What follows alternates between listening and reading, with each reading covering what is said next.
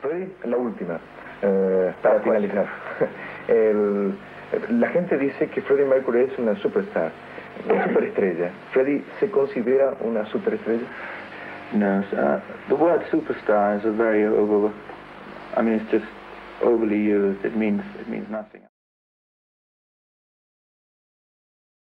Hi, my name's Kim Basinger. I'm Freddie Mercury.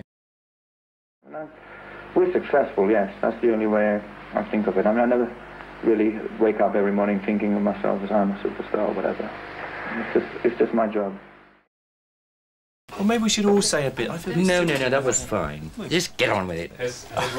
Otherwise, I'll forget my name. And then,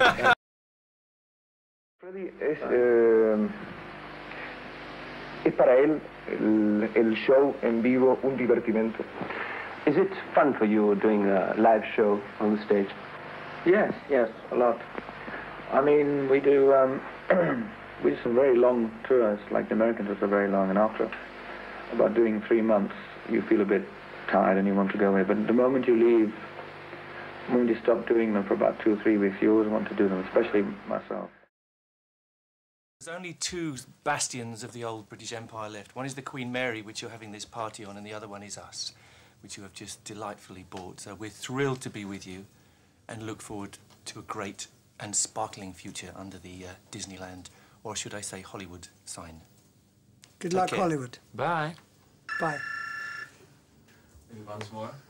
Oh, shit, all that crap again?